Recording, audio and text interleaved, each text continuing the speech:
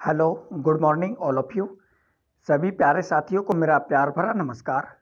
मैं Vivek Kumar UV competitions channel में आप सभी का स्वागत करता हूँ।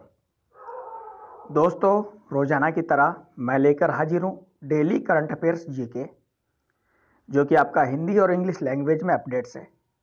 मेरे प्यारे साथियों, आज 20 मार्च 2019 के करंट अफेयर्स की हम बात करते हैं। साथियों डेली करंट अफेयर्स के लिए यदि आपने हमारा चैनल यूवी कंपटीशन सब्सक्राइब नहीं किया है तो यूवी कंपटीशन चैनल को सब्सक्राइब करें और साथ ही बेल आइकन दबाना ना भूलें, जिससे आपको हमारे द्वारा दिए गए अपडेट्स के नोटिफिकेशन मिलते रहे। इसके साथ ही यदि आप राजस्थान जी के और मैकेनिकल इंजीनियरिंग पढ़ने के इच्छुक हैं तो उसके लिए अन अकेडमी ऐप पर मुझे फॉलो करें। अन अकेडमी ऐप पर फॉलो करने का लिंक आपको इस वीडियो के डिस्क्रिप्शन में मिल जाएगा। आइए शुरू करते हैं आज के मुख्य समाचार। आइए शुरू करते हैं नेशनल न्यूज़ राष्ट्रीय समाचारों से। फॉर्मर सुप्रीम कोर्ट जज justice Pinaki Chandra Ghosh was recommended to be the first Lokpal और anti corruption ombudsman of India justice Ghosh is 67 is a member of the National Human Rights Commission since June 2070 his name was finalized and recommended by the selection committee, compromising prime minister Narendra Modi chief justice Ranjan Gogoi Lok Sabha speaker Sumitra Mahajan and eminent jurist Mukul Rastogi Supreme Court ने पूर्व न्यायाधीश justice Pinaki Chandra Ghosh को भारत का पहला लोकपाल या भ्रष्टाचार विरोधी लोकपाल नियुक्त किया गया है। सड़सठ वर्षीय जस्टिस घोष जून 2017 से राष्ट्रीय मानवाधिकार आयोग एनएचआरसी के सदस्य हैं। प्रधानमंत्री नरेंद्र मोदी, मुख्य न्यायाधीश रंजन गोगोई, लोकसभा अध्यक्ष सुमित्रा महाजन और प्रख्यात न्यायविद मुकुल रोहतगी की चयन समिति द्वारा उनके नाम को अंतिम रूप दिया गया और सिफारिश की गई। Next, the I help initiative to promote digital electoral literacy in Assam has been launches in view of the forthcoming Lok Sabha polls. It is a joint initiative of the Office of the Chief Electoral Officer, CO and Common Service Centers CSC in Assam. Assam में आगामी लोकसभा चुनाव के मद्देनज़र digital चुनावी साक्षरता को बढ़ावा देने के लिए आई हेल्प पहल शुरू की गई है यह असम में मुख्य निर्वाचन अधिकारी और कॉमन सर्विस सेंटर के कार्यालय की एक संयुक्त पहल है सीईओ मुकेश चंद्र साहू ने आई हेल्प पहल की शुरुआत की है। नेक्स्ट बात करते हैं एग्रीमेंट्स एंड हस्ताक्षरी समझौतों की। Maldives finance ministry has signed an agreement with India's export import bank for line of credit LOC of 800 million US dollars to finance the new government's infrastructure projects. The agreement was signed in presence of external affair minister Sushma Swaraj who was on two day visit to Maldives The LOC is part of 1.4 billion US dollars finance assistance announced by the Indian government during President Ibrahim Mohammed Soleh state visit in December 2018. The Exim Bank loans come with a 1.75% interest rate and a 15-year repayment period after 5 years of moratorium. Maldives के वित्त मंत्रालय ने नई सरकार की अवसंरचना परियोजनाओं के वित्त पोषण के लिए 800 मिलियन अमेरिकी डॉलर के लाइन ऑफ़ क्रेडिट के लिए भारत के निर्यात आयात बैंक के साथ एक समझौते पर हस्ताक्षर किए हैं। इस समझौते पर विदेश मंत्री सुषमा स्वराज की उपस्थिति में हस्ताक्षर किए गए, जो मालदीव की दो दिवसीय यात्रा से माला, माले यात्रा पर थी। एलओसी दिसंबर 2018 में राष्ट्रपति इब्राहिम मोहम्मद सोली की राजकीय यात्रा के दौरान भारत सरकार द्वारा घोषित 1.4 बिलियन अमेरिकी डॉलर की वित्त सहायता का एक हिस्सा है। एग्जिम बैंक ऋण, एक पॉइंट पिछहत्तर प्रतिशत। ब्याज दर और पंद्रह वर्ष की अदायगी अवधि के साथ पाँच वर्ष की मोहलत के साथ आता है। नेक्स्ट, ओला है signed a memorandum of understanding.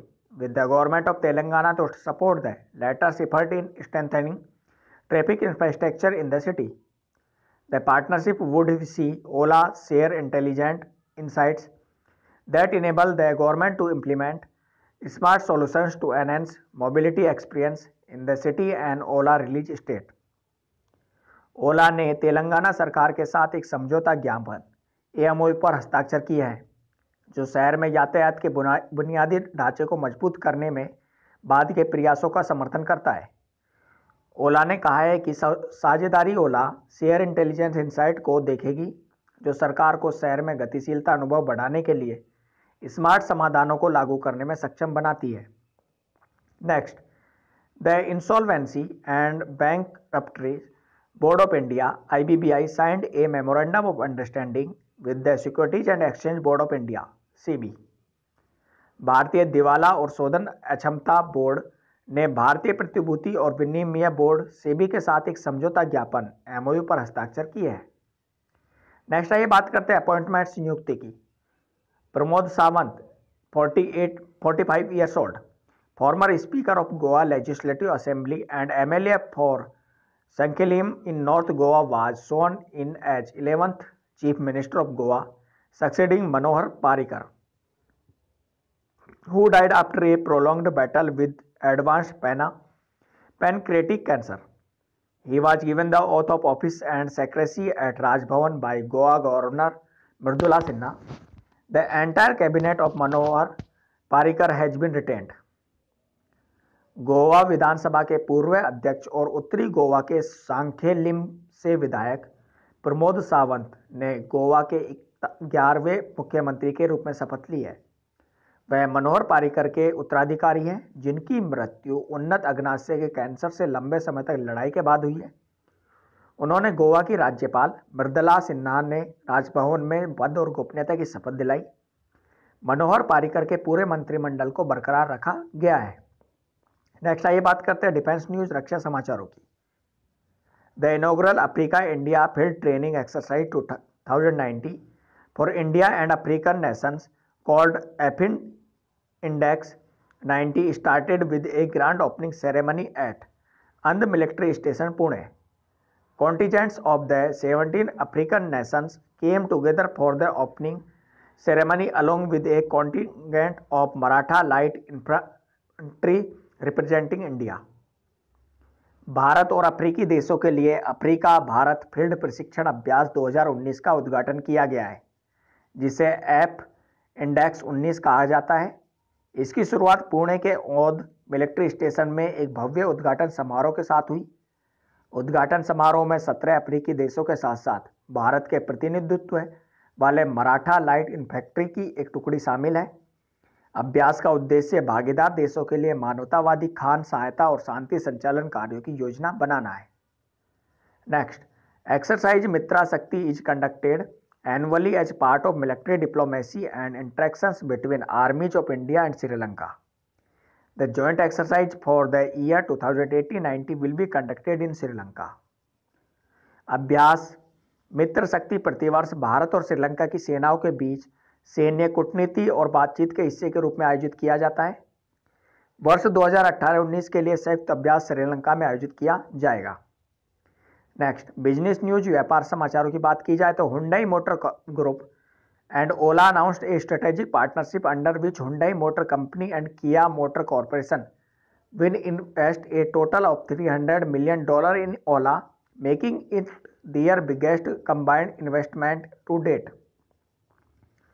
Hyundai motor group और ओला ने एक रणनीतिक साझेदारी की घोषणा की है, जिसके तहत हुंडई मोटर कंपनी और किया मोटर्स कॉरपोरेशन ओला में कुल 300 मिलियन डॉलर का निवेश करेगी, जिससे यह अब तक का सबसे बड़ा संयुक्त निवेश होगा। नेक्स्ट आइए बात करते हैं स्पोर्ट्स न्यूज़ खेल समाचारों की। In Asian youth athletics championship in Hong Kong boys medley relay team won a gold medal for Indian on the final day to help Indian youth team finish second in the overall medals tally with a total of 26 medals including 8 gold, 9 silver and 9 bronze medals. China topped the overall medal tally with 31 medals that included 12 gold, 11 silver and 8 bronze medals and Japan finished third with 20 medals that included 6 gold, 8 silver and 6 bronze. Hong Kong में Asian youth athletics championship में लड़कों की medley relay team ने अंतिम दिन भारत के लिए स्वर्ण पदक जीता। इसी के साथ भारतीय युवा टीम कुल आठ स्वर्ण, नौ रजत और नौ कांस्य सहित कुल 26 पदकों के साथ पद तालिका में दूसरे स्थान पर रही।